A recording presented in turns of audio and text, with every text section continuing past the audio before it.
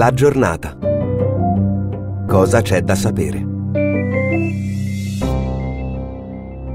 C'è chi prova a immaginare una Gaza libera da Hamas dopo la guerra, come il segretario di Stato americano Blinken, che incassa l'appoggio del fragile Abu Mazen. C'è chi vive sotto le bombe nella striscia e chi a Tel Aviv aspetta ancora i familiari rapiti. C'è il campo militare con l'avanzata degli israeliani e le minacce che arrivano dall'Iran. C'è una riforma costituzionale che si scontra con il silenzio di Mattarella e i dubbi di tanti esperti. Oggi è lunedì 6 novembre, io sono Laura Pertici e questa è la giornata di Repubblica.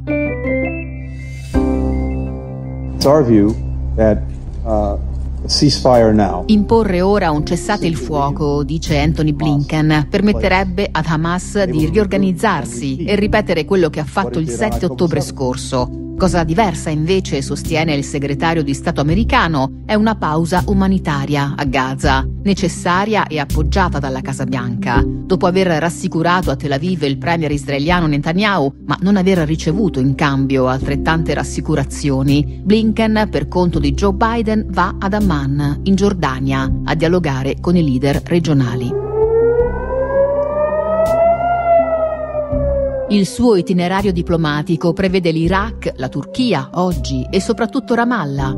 Qui per la prima volta in West Bank dallo scoppio del conflitto, gli Stati Uniti incassano il supporto di Abu Mazen, con il vecchio capo dell'autorità nazionale palestinese che apre a uno scenario di speranza per il futuro. L'ANP si assumerà responsabilità a Gaza in una soluzione politica globale, dice il leader palestinese, purtroppo screditato agli occhi di molti del suo popolo. Il piano di Blinken prevede il rientro dei palestinesi più dialoganti al governo della striscia e per quanto di difficile realizzazione sembra incontrare il favore anche degli altri paesi arabi. Per pensare al dopo però vanno fermati i combattimenti. Davanti ai quasi 10.000 morti dal 7 ottobre ad oggi una pausa serve. A chiederla per far entrare gli aiuti ai civili è anche il francese Emmanuel Macron, che convoca per questo giovedì una conferenza umanitaria a Parigi, mentre domani a Tokyo si incontrano i ministri degli esteri del G7. Intanto a Gaza.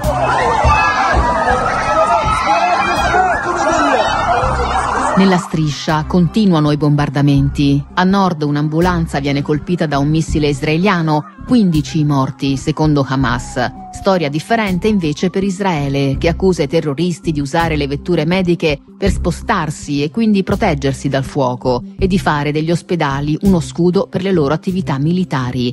L'Organizzazione Mondiale della Sanità parla di 102 attacchi a strutture mediche dall'inizio della guerra. Per l'ONU gli sfollati interni a Gaza sono quasi un milione e mezzo. Nel frattempo a sud il valico di Rafah viene chiuso agli stranieri. L'assedio va avanti.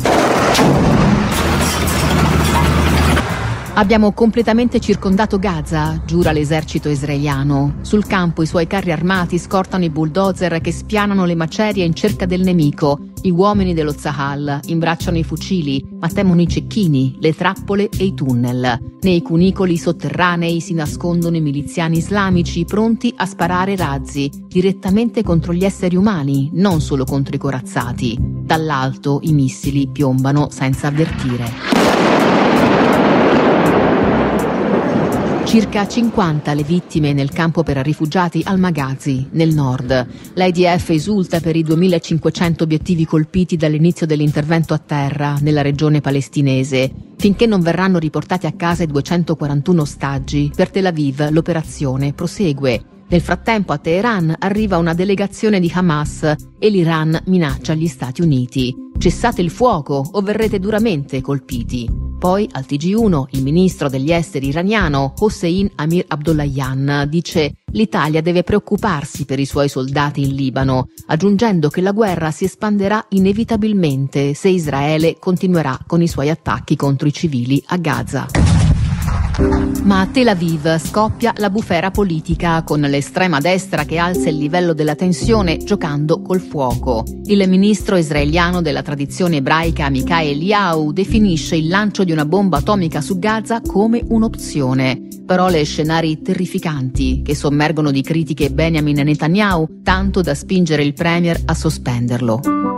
Io considero questa la madre di tutte le riforme che si possono fare in Italia. Le parole di Giorgia Meloni, pronunciate venerdì scorso in conferenza stampa, pongono di nuovo il Paese davanti a una riforma costituzionale Sarà, se approvato dal Parlamento a maggioranza qualificata, cosa ben difficile, o dal popolo con referendum, al momento in proiezione altrettanto complicato, tanto che Meloni già lavora al quesito, che vuole molto semplice e concentrato sul concetto di elezione popolare. In ogni modo, se la riforma passerà, sarà premierato all'italiana, quindi elezione diretta del Premier, una soluzione mai vista in altre democrazie occidentali. Sentiamo la ministra Casellati che firma questa riforma. Poggia su due capisaldi. Uno è dare stabilità e durata ai governi, che sono stati 68 in 75 anni di storia repubblicana,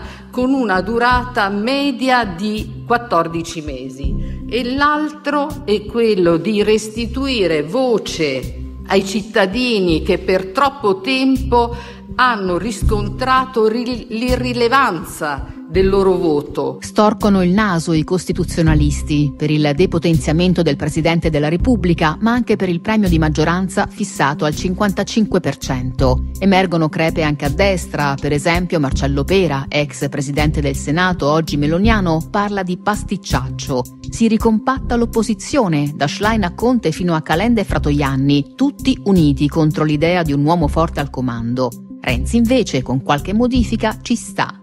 Intanto domani il presidente Sergio Mattarella va in Asia, passerà cinque giorni tra Corea del Sud e Uzbekistan, un viaggio che cade durante un periodo di forte pressione internazionale, con i conflitti in Medio Oriente e in Ucraina, e interna, con la proposta appunto di riforma avanzata dal governo e ancora non commentata dal Quirinale. Il suo silenzio, anche da lì, pesa.